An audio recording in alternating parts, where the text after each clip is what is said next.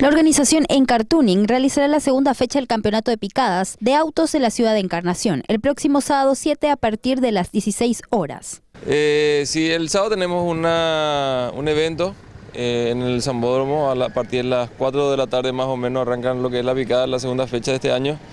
Eh, con más o menos especial, una fecha especial para nosotros porque es la primera vez que se va a hacer de noche, por así decirlo. Va a ser la fecha nocturna.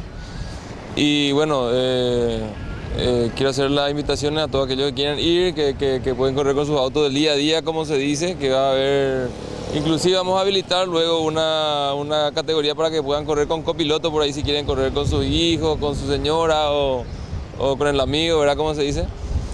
Eh, y también obviamente las chicas que quieran animarse, eh, se pueden ir con su auto automático, con, con, el que, con el que el día a día se mueven.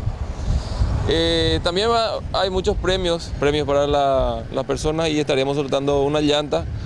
Y también eh, se va a sortear en el día, eh, por así decirlo, una carrera junto con el auto más rápido de Itapúa, que es el señor Gustavo Romero que maneja, para que se pueda acertar de copiloto. medir también con ella? Sí, no sé si medir, ¿verdad? pero por lo menos la butaca al lado se va a poder sentar como para que pueda sentir lo que es la velocidad y la adrenalina dentro del auto, ¿verdad? Eso lo estaremos sorteando y así que va a haber muchas sorpresas y va a estar muy lindo para la gente. El escenario del evento será el centro cívico de la ciudad. Se espera la presencia de competidores de varios puntos del territorio nacional. Los requisitos son ser mayor de edad y contar con todos los elementos de seguridad para la competencia.